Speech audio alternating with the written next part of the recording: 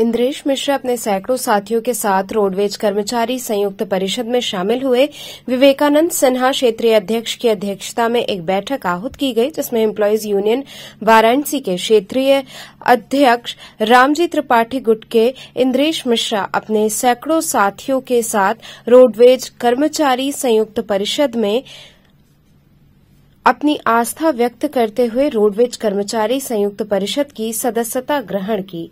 सदस्यता ग्रहण करने पर रोडवेज़ कर्मचारी संयुक्त परिषद के सदस्यों ने इंद्रेश मिश्रा का माला फूल पहनाकर एवं जोरदार नारेबाजी करके उनका स्वागत किया। इसके पश्चात इंद्रेश मिश्रा ने संयुक्त परिषद के वरिष्ठ सदस्यों का माल्यार्पण कर अंग वस्त्रम एवं स्मृति चिन्ह देकर उनका स्वागत किया तथा इंद्रेश मिश्रा ने कहा कि मैं संयुक्त परिषद की तरफ़ से अपने कर्मचारी भाइयों की सभी लड़ाइयाँ और उनकी मांगों को लड़ता रहूँगा।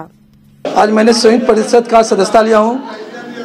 परिषद के प्रांतीय अध्यक्ष गिरिजा शंकर त्रिपाठी जी यहाँ आए हैं बनारस में और प्रांतीय महामंत्री गिरीश चंद मिश्रा जी और यहाँ संरक्षक हमारे यहाँ लाला यादव जी और यहाँ के क्षेत्रीय अध्यक्ष मनोज सिन्हा जी, विवेकानंद सिन्हा जी, क्षेत्रीय मंत्री हैं मनोज यादव जी, मंडली सदस्य अरविंद सिंह जी और मैं अपने कैंट डिपो के शाखा अध्यक्ष मंत्री, ग्रामीण डिपो के शाखा अध्यक्ष मंत्री, मैं अपने सैकड़ों साथियों के साथ आज मैं संयुक्त परिषद का सदस्यता ज्वाइन किया हूँ, क्योंकि हमारे इम्प्लाइज यूनियन में प्रदेश में दो गुट हो जाने के कारण विगत तीन वर्षों से मामला कोर्ट में चल रहा है। कुछ वहाँ संपत्ति बंटवारा, कुछ वहाँ यूनियन तरफ़ से ज़मीन खरीदी गई थी।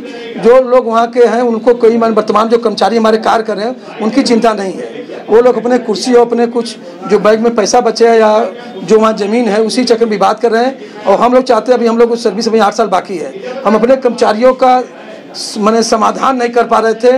हम इसलिए हम अपने विश्वास जताते मैं कई यूनियन कई यूनियन मुझे बुलाया, लेकिन मैंने संयुक्त परिषद में अपना आस्था जताते हुए आज मैं परिषद ज्वाइन कर रहा हूँ। अपने कर्मचारियों के लिए, अपने किसी भी साथियों के लिए हम लोग अपने आधी रात को किसी भी तन धन से इनके साथ खड़ा रहेंगे, इनके पहुँच नहीं आने देंगे, क्योंकि अब के युग में आज जो चल रहा दौर, अधिकारी बेलगाम हो गए। हमारे मुख्यमंत्री जी हमारे ईमानदार हैं, लेकिन ईमानदारी यहाँ ज़मीन पर नहीं है।